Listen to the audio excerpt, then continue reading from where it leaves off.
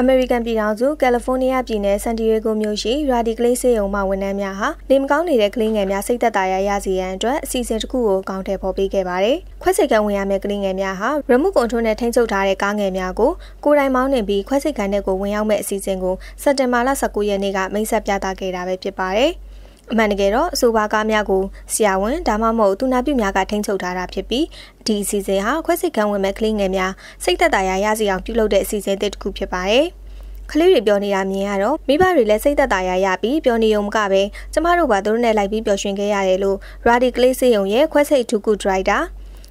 ဒေါက်တာဒန်နီလာကာဗယ်ဟိုကပြောပါတယ်။ အဆိုပါကားများကိုစန်တီတွေကိုဒေသဆိုင်ရာဥပဒေပြဋ္ဌာန်းရေးတက်တီပီယာ drive မှလူဒန်းတာဖြစ်ပါတယ်။ကလေးများဟာခွဲစိတ်ကမ်းမဝင်ခင် BMW, Mercedes ဒါမှမဟုတ် Lamborghini စတဲ့စိန်ခံကားတစ်စီးကိုရွေးချယ်ကခွဲစိတ်ခန်းကိုကိုယ်တိုင်စီးသွားနိုင်တယ်လို့စက်တင်ဘာလ20ရက်နေ့ Rider သတင်းမှာဖော်ပြထားပါတယ်။ကျွန်မအိခိုင်ဖြူပါ။